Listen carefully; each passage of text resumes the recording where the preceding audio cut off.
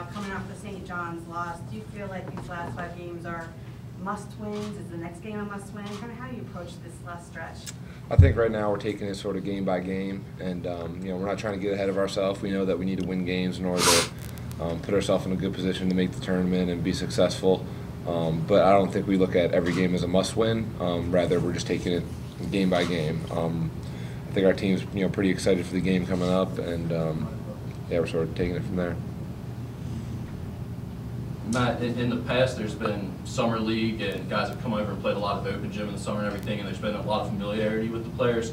Um, with the new rules allowing you guys to do individual workouts and guys not playing summer league as much, do you know the UC players? Are you guys familiar with them like it's been in the past, or do you not really know those guys? I think some guys are pretty familiar with them because I, I think a lot of the new guys definitely did um, do the summer league. But yeah, like with me, I don't I don't know a lot of the freshmen. I, I remember the guys who were there last year and the years before. Um, but yeah, it sort of has taken away a little bit of the familiarity. But um, I think we're we're well versed in the other team and we're excited for it. Did you guys play open gym at all this summer, like there's been in the past, or is that pretty much done since the new rules? Yeah, that's pretty much been done. I mean, we we never played open gym with other guys, but just ourselves. Yeah. Remy or Tr- Trevon, uh, do you have a, a, a good idea of what this game is about to the city? Does it, uh, does it mean anything to you right now other than another basketball game? Um, I mean, um, um, I mean, I heard a lot about it. Um, I mean, obviously last year I watched the game, uh, even though I couldn't play. So, um, you know, I seen it from like a, just uh, like from a fan's point of view, like just watching the game and seeing how like you know all the emotions fly around and you know everybody's so pumped up and stuff. But um, you know, this year being my first year playing in it, so um, I'm very excited. You know, and just um, just gonna take it all in and be ready to play. What did you take away from that, from watching it, from that perspective last year? Um, just everybody's just uh, like I said, so emotional. Um, you know, it's a rivalry game. You know, you know, playing for the city. Uh, you know, leave everything out there on the court. Uh, you know, playing for one another, playing for, you know, each other. You know, playing for your teammates. So um, I mean, it's a fun game, and um, can't wait to play. Trevon coming in as, as a freshman, what have you heard about this game? And, you know, do you feel like it's kind of just this built-in big rivalry game that you kind of circle on the calendar? Uh, yeah, you know, I've been hearing about it, you know, since I stepped on campus over the summer. Uh, people have been talking about this game. And, you know, um, even though we're supposed to take it like it's just another game, you know, really it's not. You know, it's just a battle between two teams that live in the same city, you know, fighting for bragging rights, basically. So, you know, um, people have been talking about it a lot, and so this is a game that we've been that we've been waiting for. So, you know, we can't wait to get out there and uh, compete against them. Matt, isn't it a little bit weird having the game so late in the season? I mean, normally it's like early December and there's a big lead up to this non-conference, but does it feel a little weird playing it so late? It's a little bit different, but um, I guess I like the change in the fact that it's not over a, a Christmas break because that's where it's kind of landed the past couple years, and it didn't take away from the atmosphere. But I think you know even more being back on campus and um, being a little bit later in the season, it's different. But I think the atmosphere will be electric as always, and it's going to be a fun game.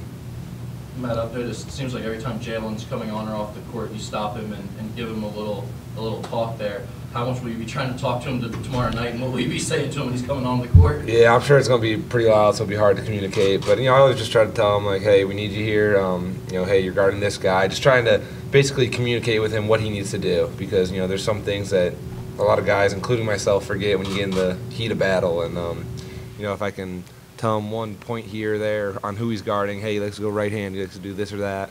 Um, if that can help us in, in the short term, then I'm all for it. Is it more important in a game like tomorrow where you know Jalen's really going to be going and his emotions are going to be everywhere? Yeah, I mean it's a high emotion game, and that's where Jalen's going to help us. You know, he he always brings that energy. I think he's done a good job sort of channeling it recently, and um, you know, it's it's definitely where you know, hey, make sure you're there, and um, you know, he's going to be emotional as he is, and we'll, we'll need that.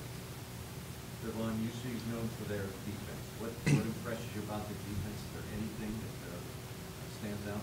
Uh, we know when we went over scouting yesterday, we noticed that they, you know, kind of play a defense similar to Seton Hall, where it's kind of like a zone, but at the same time, it's like they're kind of matched up and stuff. So, you know, something that stuck out to me is, you know, how aggressive they play. You know, they like playing in the passing lanes and stuff like that, getting steals and easy turnovers. So, you know, we just have to be able to take care of the ball and stuff like that. Um, you know, when we we uh, played against teams before who like pressuring the ball and stuff like that. So, you know, as far as defense, it'll be nothing new to us, but you know, just learning how to uh, keep the ball away from them and stuff like that is something that we're to have to get used to. Trevon, speaking of that, like you guys struggled in transition getting back defensively. with St. John's, how much do you think you can kind of clean things up in that short term round? I think I think we can clean it up pretty good because you know I think over the last couple of weeks of practice we've been working on transition defense and it's been going well. I think Saturday was just kind of a, a mental breakdown on our end and something that we can easily fix and we've been working on that in practice and I think we've done a good job uh, of it so far. Remy, is these kind of games, is, is it a lot of pressure or is it exciting? What's kind of the emotion of a player playing in these kind of games? Um, I believe like it's more exciting. Um, I mean, when you get out there, you know, and it's gonna be a people saying stuff to you. You know, it's a lot of fans screaming, different things like that. But uh, I feel like you just got to kind of stay in the moment, um, knowing that you're out there playing for your teammates, and um, like I said, just come out there, be ready to play. You know, don't let the emotions uh, get the best of you, and um, all the hype and stuff like it, and you know, look at it like um, you know, it's kind of playing in a, a regular game. You know, when you get out there on the court. So. I mean, in in terms of true road games this year, what, what so far has been the most hostile environment you've played in? You said? Uh, probably. Auburn's pretty tough, pretty tough, I don't know, just like I Um, yeah, I guess you can say Villanova. Villanova was, um, you know, that was a pretty hostile place to play in. Uh, I feel like probably tomorrow night will be probably number one to be the you know best place you play in because of the rivalry and stuff like that. So, like I said, we just can't let the you know motion, the hype, you know, get the best of us. We just got to stay in the moment, and, uh, you know, stay focused, uh, continue to you know know what we need to do to you know win the game.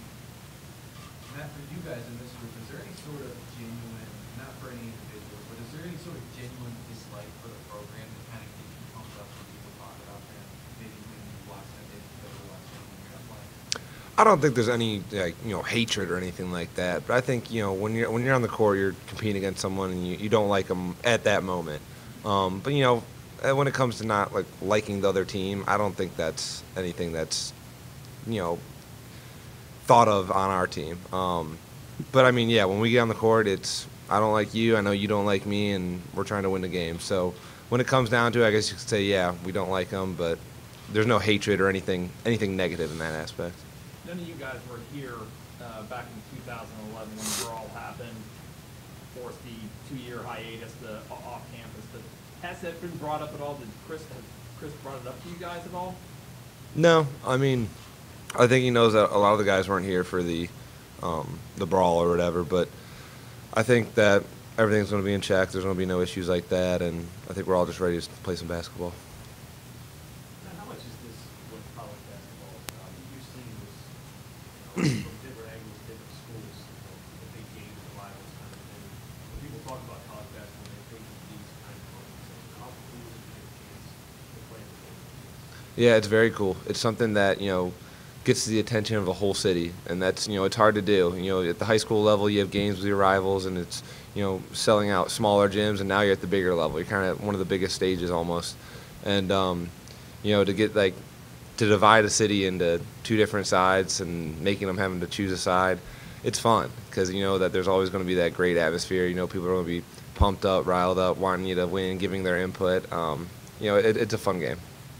Hard when there's so many people relying on you in a game like when half the city is hoping you can beat the other half? I don't think so. I think there is pressure, but I think um, you know we do a good job of understanding what's real pressure and sort of what's fake pressure. I mean, from fans who want you to win, obviously you want to you know come through for them, but you know a lot of it you look left and right at your teammates and you say, hey, I want to win this game for us. I want to win this game for you know a lot of different reasons.